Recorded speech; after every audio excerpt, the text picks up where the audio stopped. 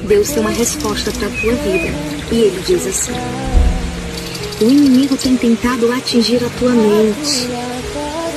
Vocês têm vivido como uma montanha russa.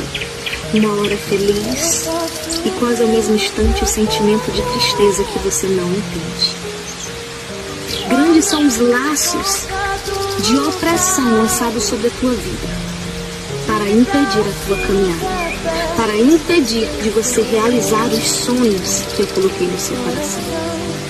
Mas eu te visito hoje, filho, com fortalecimento sobre a tua alma. Eu brindo neste momento a tua mente e o teu coração, purifico a tua vida agora.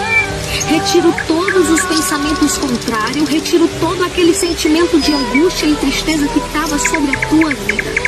E eu coloco agora graça, esperança, coragem e renovo. Creia, estou curando agora o teu interior e o teu coração. E aquilo que foi preparado para atingir e dominar a tua vida, estou tirando agora. Seja revestido com a graça, com o meu sangue e com o meu poder sobre a tua vida. Em nome de Jesus, você vai prosseguir a partir de hoje